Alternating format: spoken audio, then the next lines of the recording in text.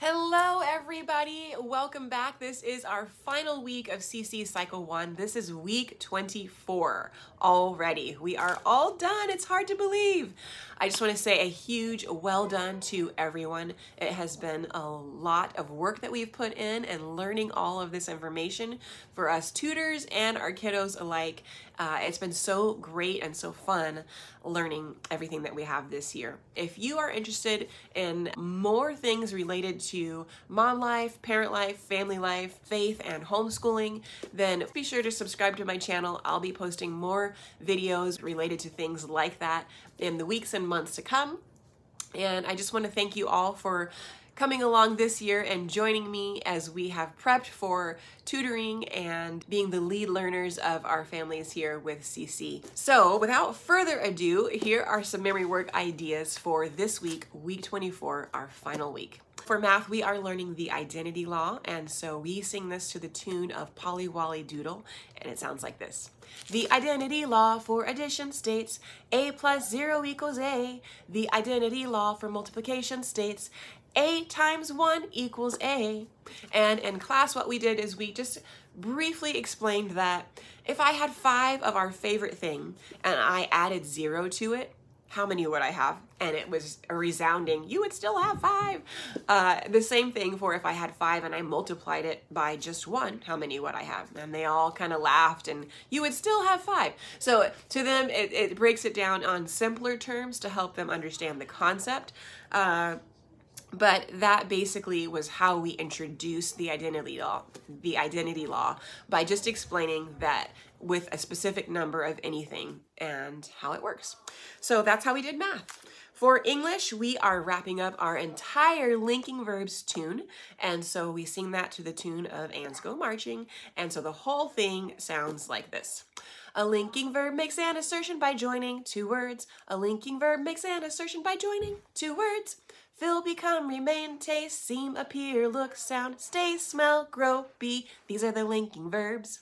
And that's our whole tune. So that's how we did linking verbs. In class this week, what we did was we uh, got in a line. You could do this in a circle too, but just a fun way to kind of give a visual for linking the verbs is we had the kids stand with their right hand facing up, palm facing up, on top of the palm of someone to their right. And then their left hand underneath the palm of the person to their left. And so what we did was we did the hit the palm of the person to your left. And since their right hand is on top, they can take that hand and continue hitting the palm of the next person.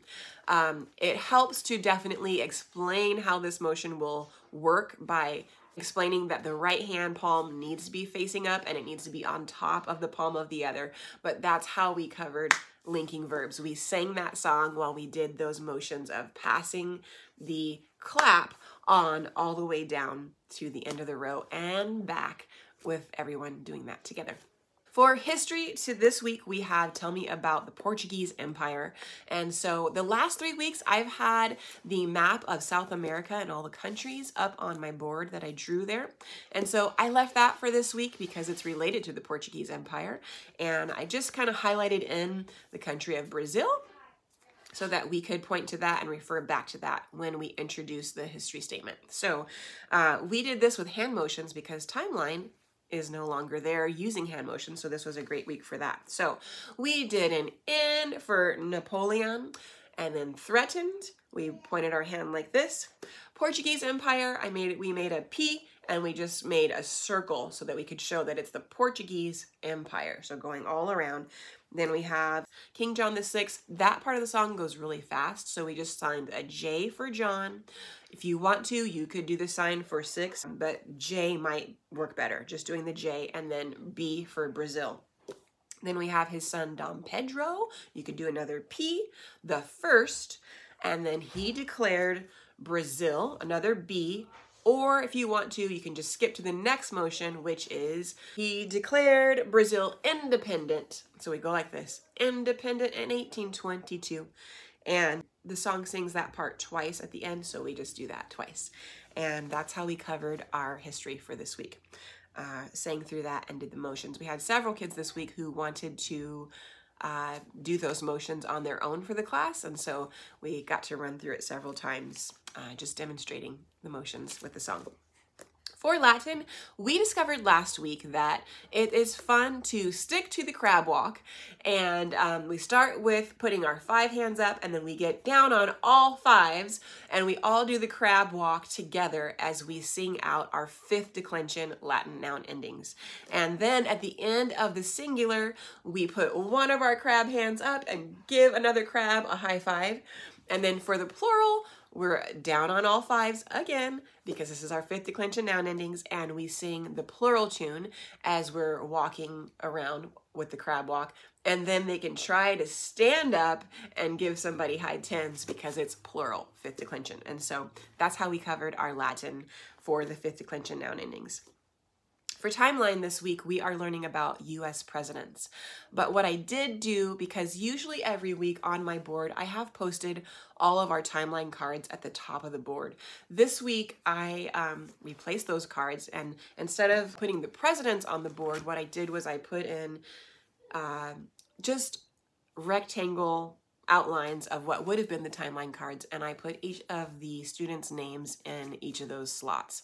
And just reminded them that they are part of their timeline and just as all the cards that we've read up until this point were a part of our history and our timeline, they are too. And now is their day that God created us all for such a time as this. And so we are part of our timeline, and it is a blessing to be alive today and fulfilling the purpose that God put in each of us. And so just encourage them as as part of their timeline, encourage them with those thoughts. So if you are a tutor who puts up cards on your board each week, that would be a way to encourage the kiddos for the end of the year. But for the president song, what I did was I did use the cards that CC offers. These are the president cards, and I put them up on a, a, separate board because that way I could show all of the presidents and use all these cards as we sang the song. And so we use the same CC tune uh, for the president song, and I'll just sing the ending of it because um, there are many ways that you could end it to include our new president, Biden, and this is how uh, we did that. So we have Eisenhower, Kennedy, Johnson, Nixon, Ford, Carter, Reagan, Bush, and Clinton, Bush, Obama, Trump, Biden. It's for him we pray. And so that is how we covered our timeline and our US presidents. For geography, we have North Atlantic, and so we are learning about Greenland, Iceland, the Denmark Strait, and the Davis Strait. Very simple because we just have four locations. So this week we just did a simple point and show me, tell me, back and forth. And for straits, we talked about how what a strait is because it's kind of right in between what we learned for the Canadian waters for the Labrador Sea and the Baffin Bay. So it was fun to demonstrate the difference in those. And then for Greenland and Iceland, we talked about how it's interesting because Iceland is actually very green and beautiful. So we kind of talked about some of those points with those, and that's how we covered geography. For science this week, we are learning some markings on the globe, and because this relates to the globe from a couple weeks ago, we are singing it to the same tune of He's Got the Whole World, and it sounds like this. Some markings on the globe are latitude, longitude, and prime meridian, degrees in northern hemisphere and southern hemisphere. And that is how we cover science this week. I did draw up on the board a globe. You could also bring in a globe from home and just showed the southern and northern hemispheres. Talked about the prime meridian being the zero degrees of our longitude line. So that's where the longitude line starts and that these are all imaginary lines. And also we talked about how we have latitude and how we talked about the equator and how we've already covered some of those lines of latitude. And um, that is some of the things that we pointed out for this week for science. And last but not least uh, for review this week we actually reviewed more of all a lot of the things that we've learned earlier this year because we're going to be showcasing those for our end of year celebration today actually. And um, so that's how we covered it. But one idea that you could do is to take some paper plates just like this with just all the different subjects written on them all seven subjects. And then you have a little frog hopper like this and on your table you just hop your frogs onto those plates and whatever Yeah. Plate it lands on, that's Yeah. the subject that you're reviewing. And that's one way that you could do review um, for this week.